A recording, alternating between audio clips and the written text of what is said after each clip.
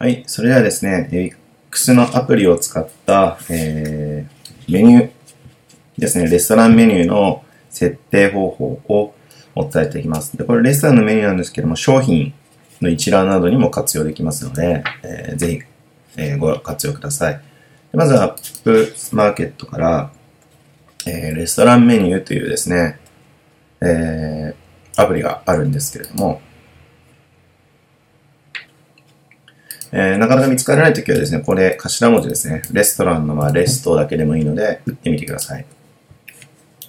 そうするとこのように出てきますので、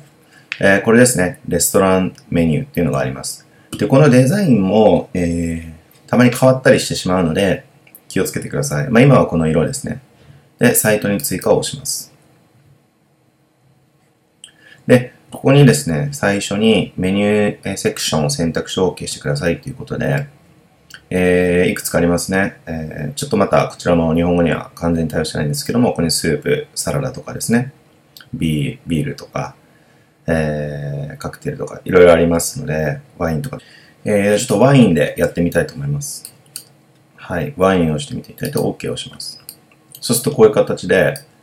えー、まあ白ワイン、赤ワインとかっていうね、このような設定を入れることができます。